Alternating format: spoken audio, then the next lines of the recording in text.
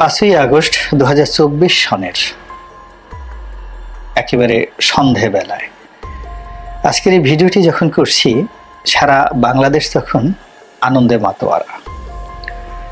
বাংলাদেশের আঠারো কোটি মানুষের মধ্যে যারা সরাসরি ক্ষতিগ্রস্ত হয়েছেন, আওয়ামী লীগের যারা লোকজন, নিঃসন্দেহে তারা ছাড়া বাকি যারা আছেন, সবার মধ্যে আজকে স্বাধীনতার ঢেউ লেগেছে। বিজয়ের আনন্দ।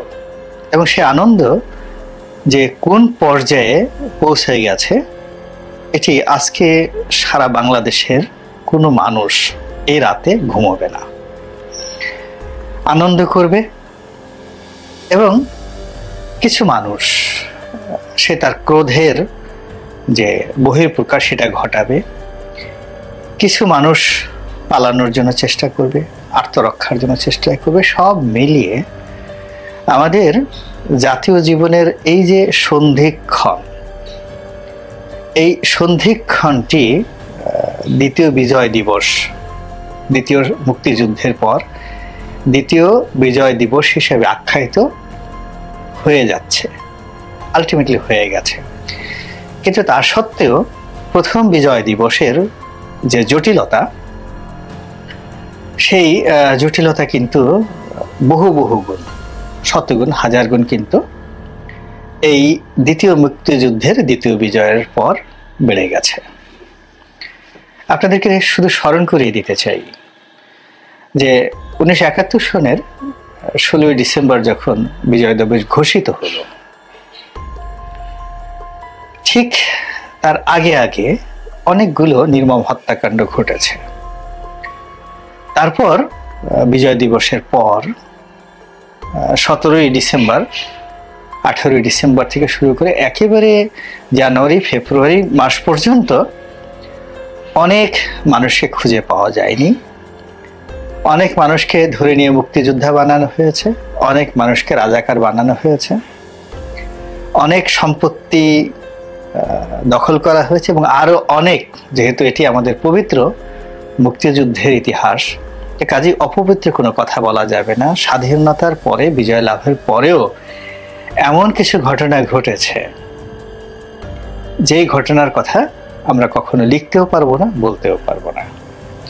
ঠিক তদ্রূপ এই সময়টিতে আমরা যেটা সন্ধিক্ষণ কাটাচ্ছি, এই সময়টিতে হাজার হাজার মিল কাল কারখানা, যেগুলোর মালিক মূলত আওয়ামী লীগের নেতাকর্মীরা।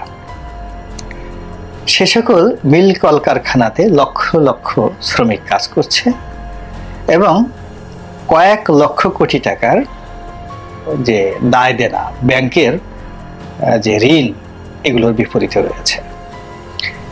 এখন অনেকগুলো শিল্প প্রতিষ্ঠানে ইতিমধ্যে আগুন লাগানো হয়েছে এবং বাকিগুলো আগুন লাগানো বন্ধ করার জন্য যদি শক্ত হাতে প্রশাসন বা যারা রাজনৈতিক নেতৃত্বে দেশ চালাবেন, তারা যদি কঠোর না হন, তাহলে বাংলাদেশ অন্তত পক্ষে পঞ্চাশ বছরের জন্য অর্থনৈতিকভাবে পিছিয়ে পড়বে।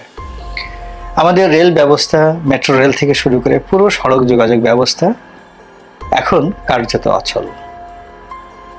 এবং এটি রাতারাতি সচল হওয়ার কোনো লক্ষণ নেই। এর কারণ হলো রেলে যারা কাজ করছে মেট্রো রেলে যারা কাজ করছে, এমনকি আমাদের যে পরিবহন ব্যবস্থা রয়েছে, গণপরিবহনে সেখানে শাহজাহান খানের মতো লোক বা এনআই সাহেবের মতো লোকরা যারা নেতৃত্বে আছেন, তাদেরকে বাদ দিয়ে রাতারাতি নেতৃত্বের পরিবর্তন ঘটিয়ে খুব দ্রুত যে, সড়ক পরিবহন ব্যবস্থা চালু করা যাবে, এটি আমার কাছে এখনও মনে হচ্ছে না, সময় নেবে। ব্যাংক বিমা খুলবে কিন্তু খোলার সঙ্গে সঙ্গে টাকা তোলার যে হিড়িক পড়ে যাবে, সেই হিড়িকের কারণে কতগুলো ব্যাংক যে বন্ধ হবে, কতগুলো ব্যাংক যে দেউলিয়া হবে এবং কি যে হবে অর্থনীতির অবস্থা সেটি আমরা এখনও কল্পনা করতে পারছি না। এ কারণ হলে এতদিন পর্যন্ত সব কিছু গোপন রেখে তারপরে একটা তাসের ঘর তৈরি করে যেভাবে মানুষের কাছে এই জিনিসগুলোকে উপস্থাপন করা হতো। কাল পরশু বা আগামী এক সপ্তাহের মধ্যে আপনি জানতে পারবেন যে বাংলাদেশ ব্যাংকের আসলে রিজার্ভ কত।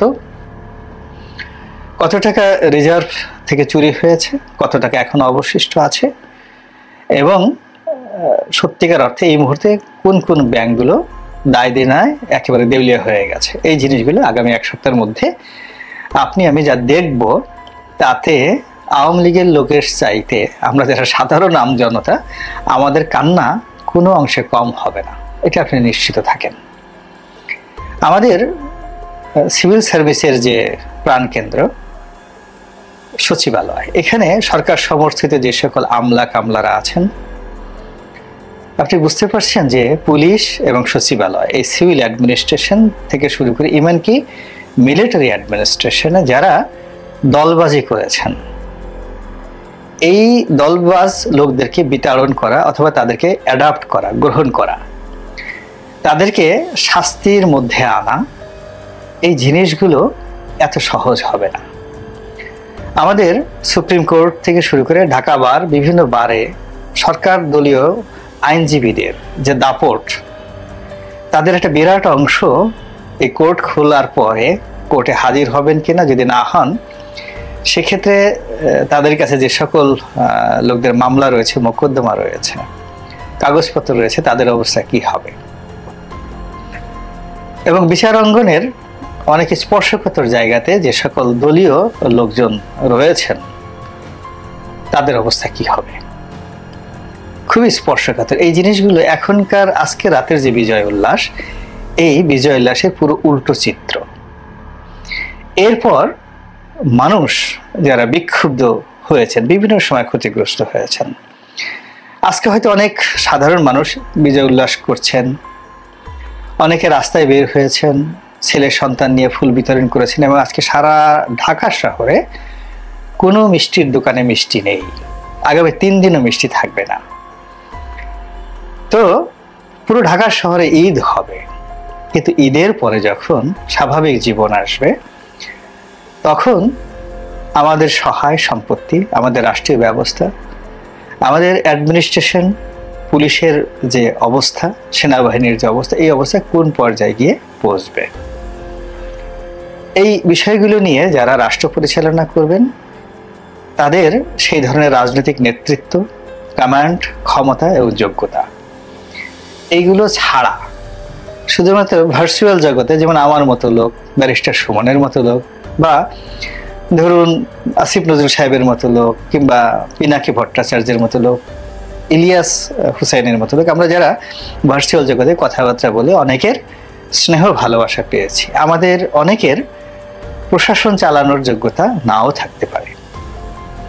অথবা আমি বিএনপি করি হঠাৎ করে আওয়ামী লীগের একটা যোগ্য লোক আছে সেখানে, তাকে তাড়িয়ে আমি সেখানে গিয়ে বসলাম। আমি প্রশাসনটিকে ভালো মতো নাও চালাতে পারি। এরকম যে অস্থিরতা যদি শুরু হয়ে যায়, তাহলে বাংলাদেশে যে সিভিল ওয়ার সেই সিভিল ওয়ারের প্রেক্ষাপট তৈরি করার জন্য ভারত যে চক্রান্ত করে যাচ্ছে,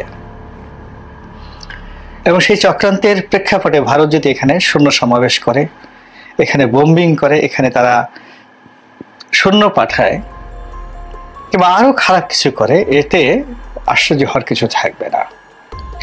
কাজে আমরা যারা আনন্দ করছি, উল্লাস করছি, উল্লাসের সঙ্গে সঙ্গে আগামী এক সপ্তাহ থেকে আগামী পনেরো দিন যেন আমাদের অর্থনীতি, আমাদের প্রশাসন, আমাদের আইন শৃঙ্খলা রক্ষাকারী বাহিনী থেকে শুরু করে আমাদের সমাজের যে বন্ধন, এই বন্ধনটা যেন অটুট থাকে।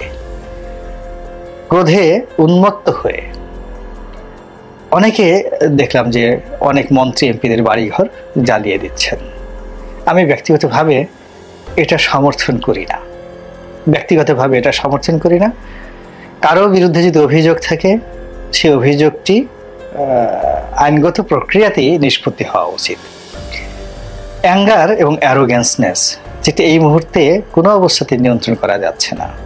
আলটিমেটলি এই কদিন ইন্টারনেট বন্ধ ছিল, নিয়ন্ত্রিত পত্র পত্রিকা ছিল, কালকে যখন পত্রিকাগুলো বের হবে, সেগুলো দেখতে পাবে যে কি সর্বনাশ হয়ে গেছে।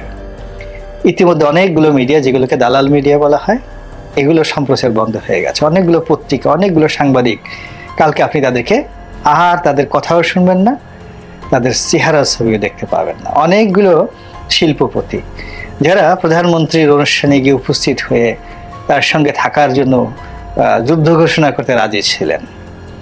তারা অনেকে ভেঙে গেছে যারা ভাগেনি, তাদেরকে খোঁজা হচ্ছে। তাদের ব্যবসা বাণিজ্য থেকে শুরু করে আরও অনেক কিছু। যারা বাংলাদেশের ইকোনমির অলমোস্ট এইট্টি পার্সেন্ট তারা নিয়ন্ত্রণ করে। বড় বড় শিল্প গ্রুপ এবং এদের শত্রু রয়েছে। যেমন বসুন্ধরা গ্রুপের শত্রু রয়েছে, যমুনা গ্রুপ, ব্যাক্সিমকো গ্রুপের শত্রু রয়েছে, হয়তো অন্য গ্রুপ। তো এরকম তারা একে অপরের বিরুদ্ধে এই সময়টাতে লড়াই করবে, সংগ্রাম করবে। বিভিন্ন ট্রেড বডির নিয়ন্ত্রণ, যেমন এফবিসিআই, বিজিএমইএ, বিকিএমইএ, এখানে সরকার সমর্থক যারা নেতৃত্বে আছেন তাদের কাউকে খুঁজে পাওয়া যাবে না। ফলে এই সকল সংগঠন কেন্দ্রিক যে অর্থনীতির যে চাকা, সেই চাকাটি মারাত্মকভাবে উল্টো স্রোতে ঘুরতে থাকবে। ফলে যারা এই আন্দোলনের নেতৃত্ব দিয়েছেন, তারা যদি এই বিষয়গুলো গভীরভাবে পর্যালোচনা করেন এবং বিষয়গুলো তারা যদি, যারাই রাষ্ট্র চালান, যেহেতু এখনও পর্যন্ত আমি মনে করি আন্দোলনকারীদের হাতেই ক্ষমতা, তারা যদি এই বিষয়গুলো নিয়ে কাজ করেন এবং যারা এক্সপার্ট রয়েছেন, তাদের সাথে বুদ্ধি পরামর্শ করে, তাড়াহুড়ো না করে পুরো পরিস্থিতি নিয়ন্ত্রণে রাখার চেষ্টা করেন।